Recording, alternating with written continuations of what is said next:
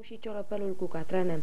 Cele două microvolume sunt o continuare a seriei de cărți de epigrame care a debutat cu volumul Buzunarul cu epigrame.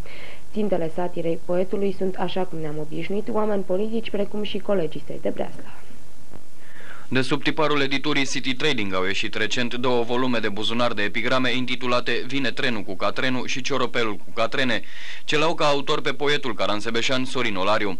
Noile apariții se vor o continuare a serei de microvolume de epigrame care a debutat sub semnătura aceluiași autor cu buzunarul cu epigrame, editat în cursul anului trecut la editura Dacia Europa Nova din Lugoj.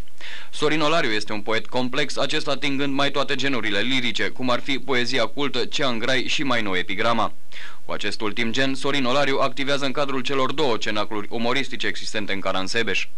Eu am zis să încerc toate genurile. Poate nu știți, dar am scris și science fiction și am publicat. Deocamdată aici în Caransebeș nu este niciun cenaclu de science fiction, ca să scot eventual vreun volum de povestioare din acestea SF.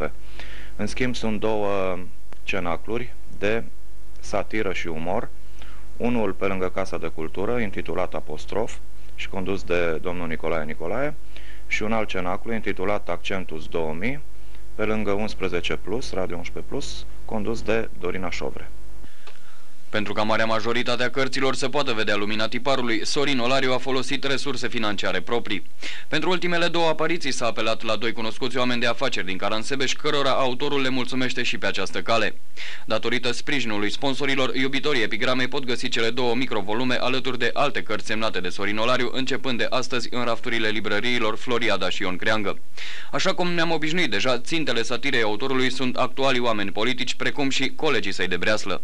Aceste epigrame și catrene am încercat să-i ating puțin, deși ei au pielea cam groasă, și pe politicienii de la nivel de București, deci mari mahări ai țării, dar și pe politicienii noștri locali, precum și pe mulți dintre prietenii mei, eh, profesori, oameni de cultură, elita din Caransebeș.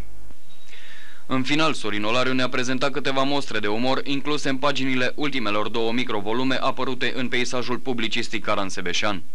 Patriotism de politicieni. Problema e așa de clară că poți de acum să conchizi. Îi doare atât de mult de țară de au făcut hemoroizi. Dracula. Dracula a trecut pe suc acum în clipa 99 Pe lângă cei ce ne conduc, e un vampiraș de mâna a doua. Politicienilor noștri. Politicienii pe din dos se țin de lucruri caragioase. Ei rod la figurat un os iar noi la propriu roade moase. Unuia care a promis soției că se lasă de băut. De câte ori te-am tras în piept, nevastă, pentru a nu te pierde, când ți-am promis că o să mă îndrept, m-am îndreptat spre pomul verde.